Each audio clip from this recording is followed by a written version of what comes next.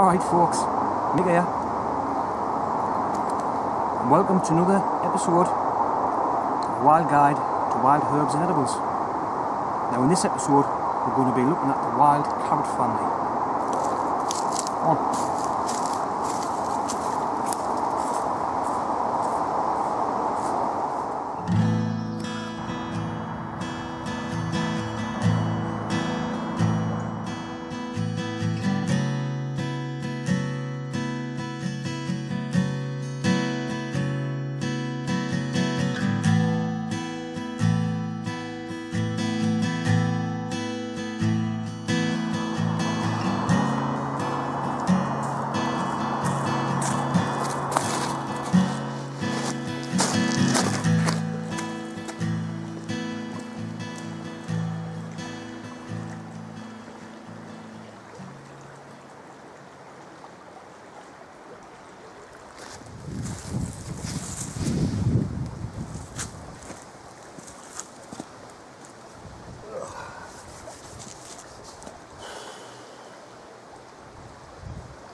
So,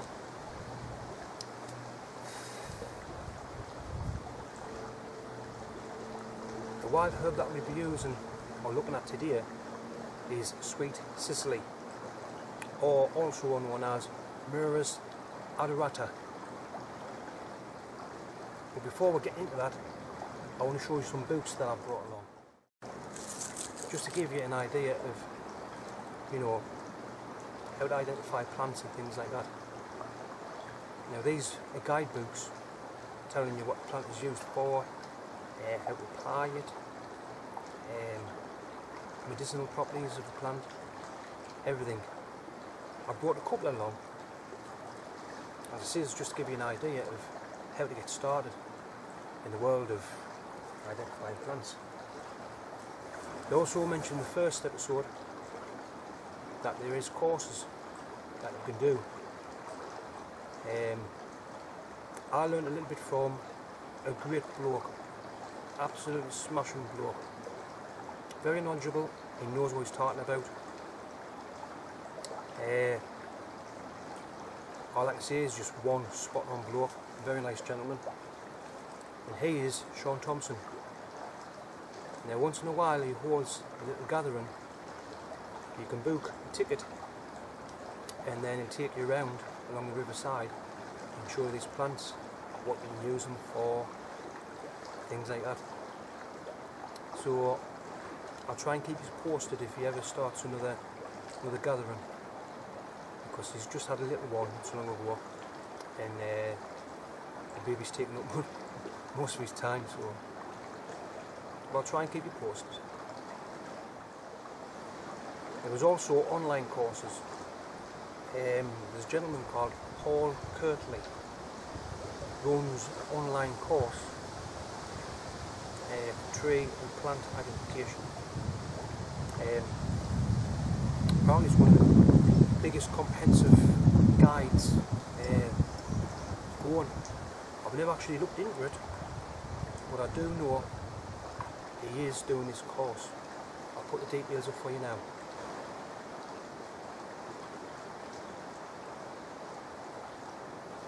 There's also another one, another book that I haven't brought out, uh, Food for Free by James, Jim Collins. That's a good book. And you, it's a very small pocket book. You go around, popping around and picking the plants, identifying things like that. Right, onwards, let's find some Myrrhis adorator or adorata.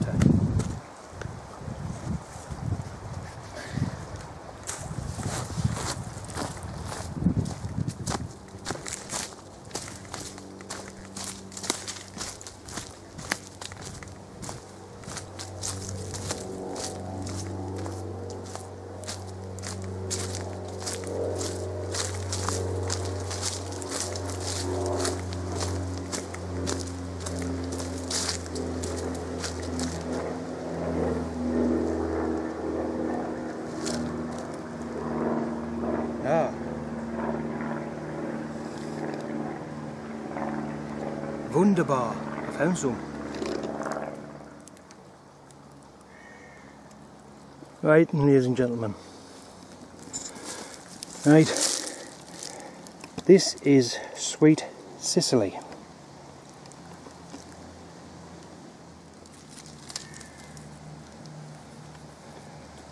Now these fine ridges in the stalk.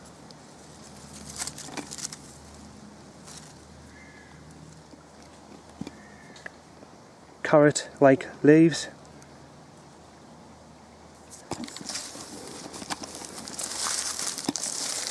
Here's some more here. And you can quite easily distinct Sweet Cicely because of the white patches you get on the leaves themselves. There's not many on this one, but you see the odd patch of white. Looks like it's been splattered with paint.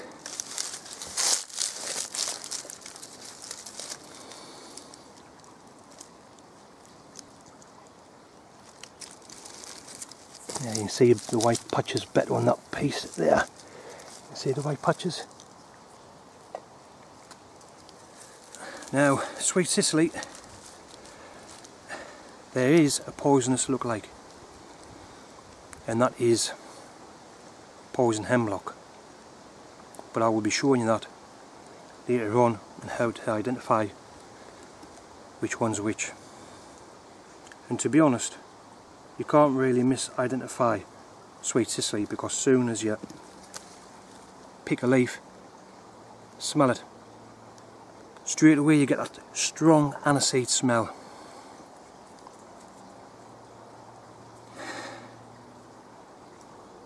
God, that's strong. Remember the aniseed balls that you used to eat when you were kids? Smells just like that. And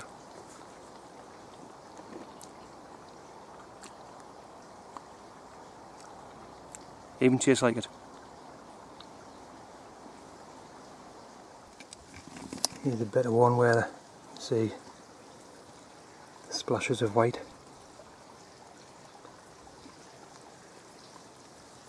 Bit there.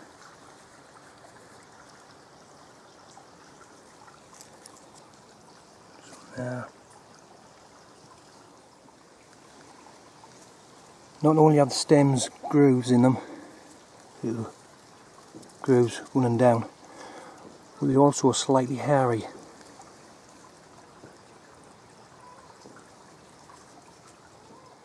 I'll just show you the base. Yeah. You get a brushing of colour on the, the base of the stem going up, but that's about it. No other red blotches or anything at all, just the hairy stalk. And they used to say they used to use this to protect you against the plague in the olden days. now it contains both vitamins A and C, calcium, iron, potassium and essential oils containing antimicrobial, antifungal and antioxidant, antioxidant. It's the oils that's the most um, helpful to your body.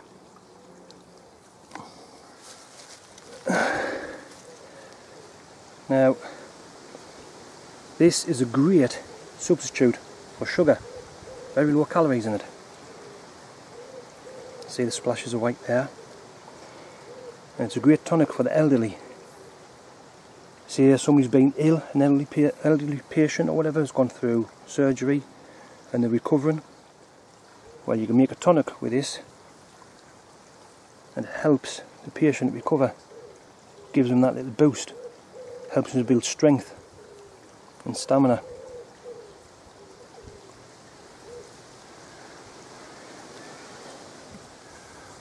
So, look at the stalks. The stalks of the leaves are round, hairy. The stalk has ridges and hairy. Has no red blotches at all, none whatsoever make sure there is no blotches, red blotches, because if there is, avoid like the plague. It's just me, me phone. now, This plant is from the Umbelliferae family, in other words, it flowers like umbrella. Um, it's the chemical anethole that gives this herb its distinctive taste of aniseed.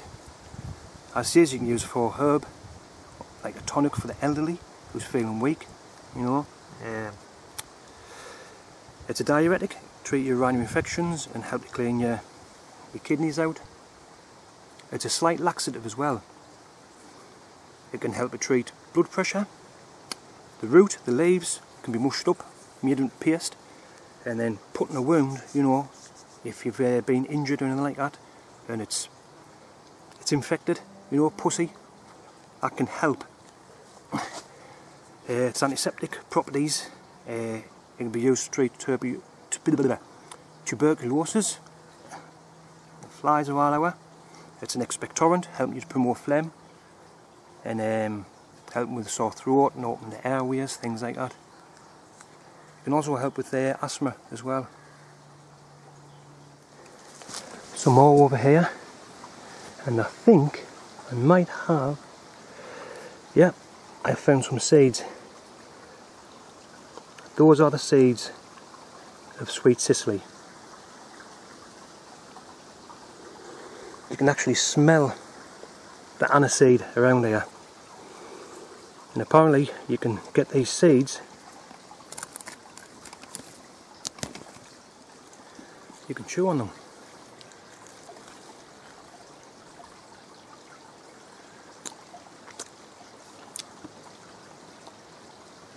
Boy, that's strong. Best get them when they're younger. A little tough days, but mm, beautiful. I think I'm going to collect some of these seeds and harvest them for next year and grow some in the garden.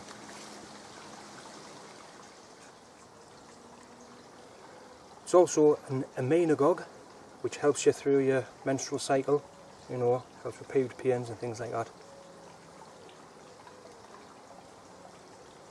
But I advise pregnant women, obviously, not to take this.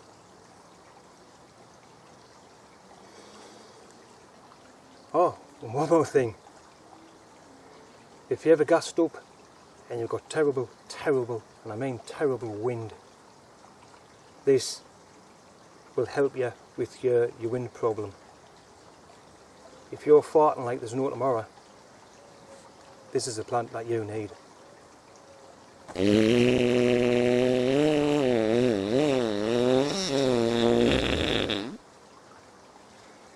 That was not me.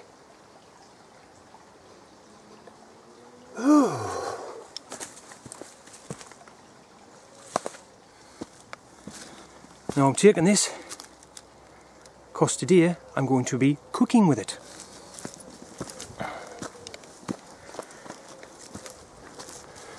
Also used for gout as well. So Rob, I know you suffer bad from gout mate. I have the herb that you need.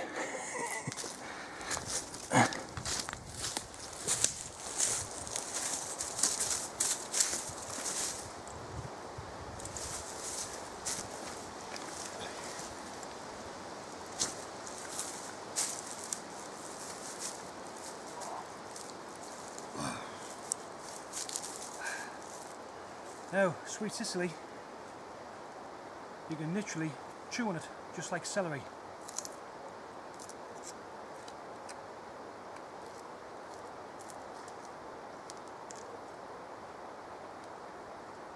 It's got that lovely aniseed taste. And it's great in sweets like um, rhubarb pies, stuff like that. And it's a great compliment with lamb and that's what we'll be cooking today.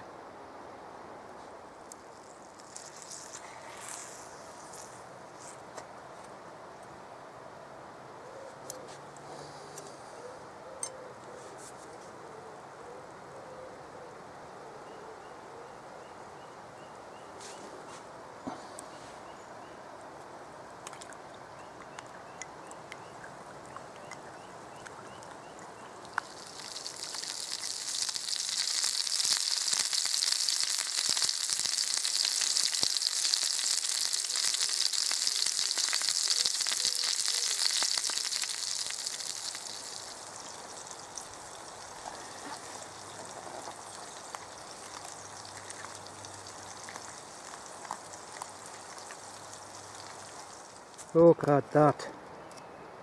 Bon appetit.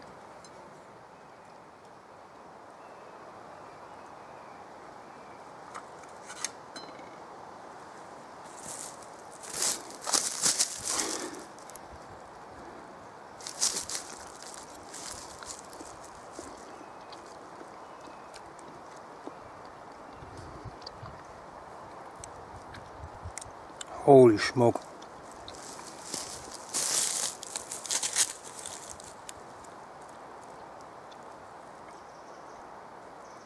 That is delicious folks. That is beautiful. Wow, the texture, the taste, the aniseed with the with the the lamb. Oh wow.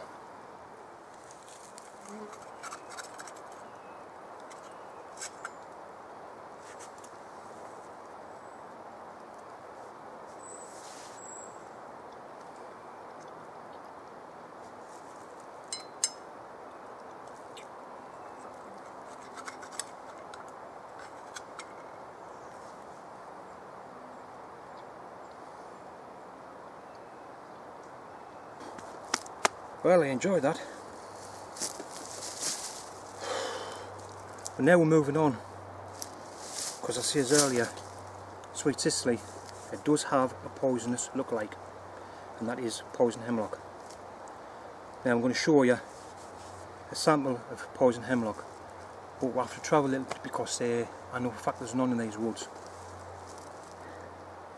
But I think I know where there might be some. So we best get moving. Now we're looking for hemlock now.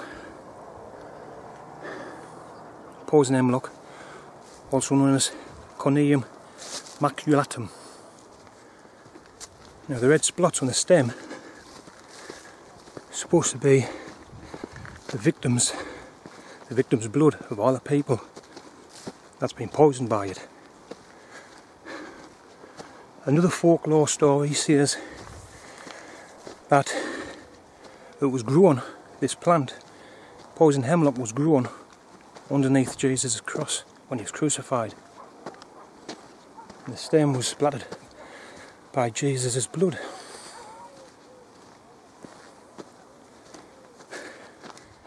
Now, 30 minutes after consuming this plant, you'll feel dizzy, uh, nauseous, sick, vomiting, numbness of the body, paralysis.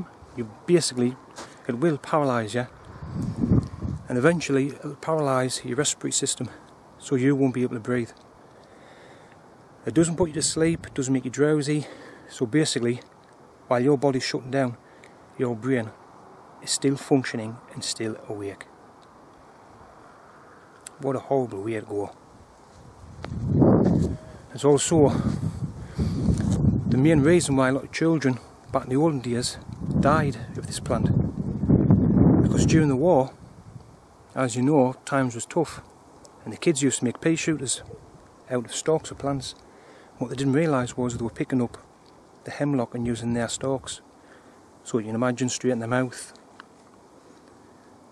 Um, and you know the rest.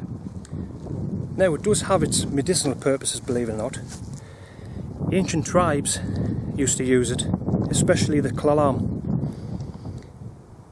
The tribes used to use it as a mild sedative, sedative, and you can imagine you're taking small quantities, the paralysm, the the paralysing effect it has.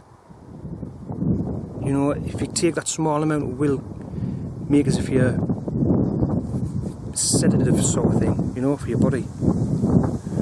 And the Klallam women they used to get the root and they used to rub it on the body to attract men. God, I imagine, imagine them, them getting a, a nasty rash, I tell you. Oh, hang on. No, it's not. I thought it was. I've just found some. And there's that plant there. Can grow at least six foot. As you see, it is from the Umbifalia family, the umbrella shaped leaves and flowers, sorry.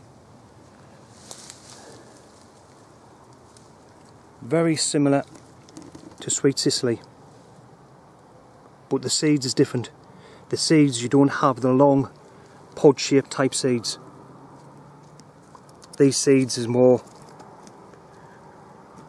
of a different shape. Each flower has five petals and you can see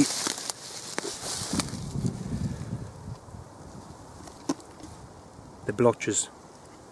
That is what you're looking for folks. If you do not have a plant that smells doesn't smell of aniseed and has blotches like this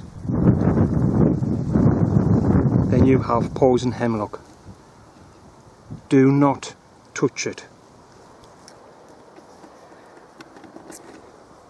It has a smooth stalk, waxy feel to it, no hairs.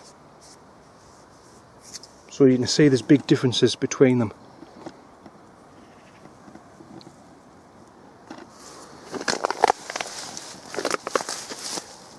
You can see all the blotches on them.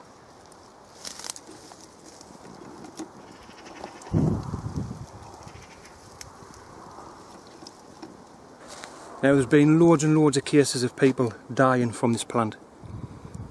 Children thinking they've got cow parsley, been munching on it.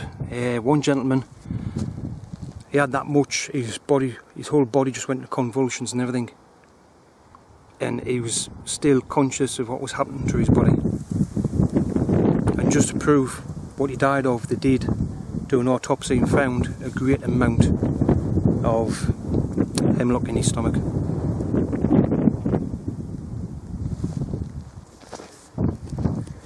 So go over here like and as you can see the carrot shaped leaves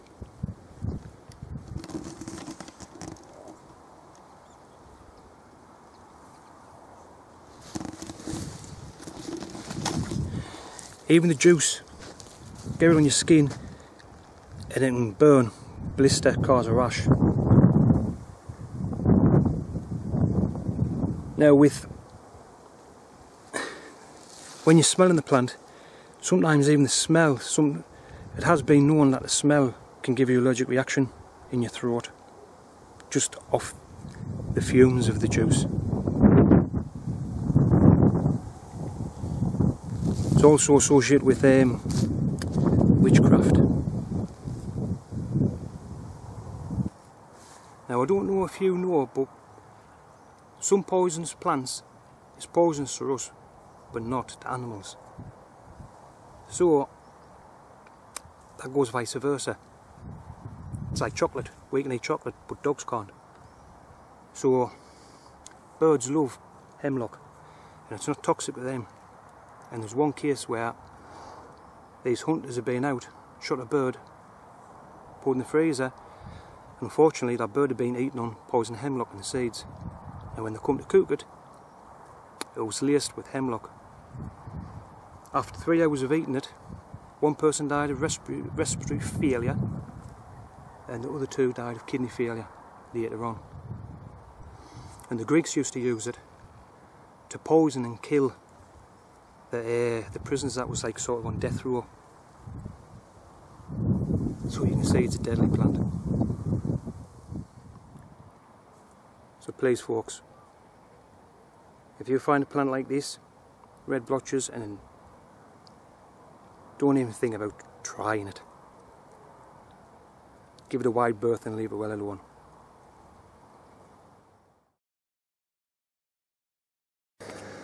Right then, Let's have a rundown of these two plants. On the left we have poison hemlock and on the right we have sweet cicely.